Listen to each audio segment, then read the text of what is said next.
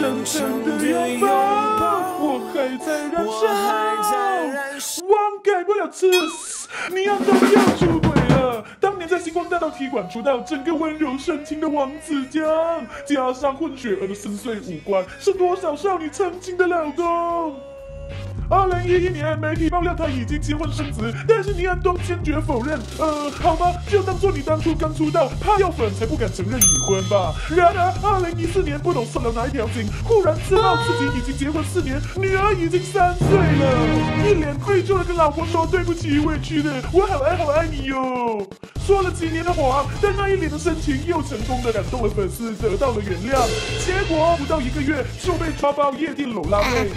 紧接着又被某空姐举证爆料，他传简讯撩妹，又只好公开跟老婆道歉，承认自己是一个烂人。哎，我也是不会了。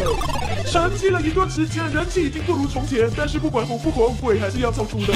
二零一七年，李安东老婆发现了手机里有和女演员接吻的照片，偷情偷到把小三带回父母家。最狂的是，父母认为小三过门都是客，默认了李安东偷吃行为。然后他又跟老婆道歉求原谅喽，不然他到底是不是诚心道歉？番薯是不知道，但是肯定的是他偷吃偷上瘾了。偷吃的对象竟然还有四个圈内女艺人和网红。老婆心碎的逼问他小三的床上表现如何，他竟然厚颜无耻的回答比你好，还坦诚另外还有一些叫不出名字的，是花钱买来的。我的老天啊，我到底看了什么？原来偷吃过度是会变脑残的。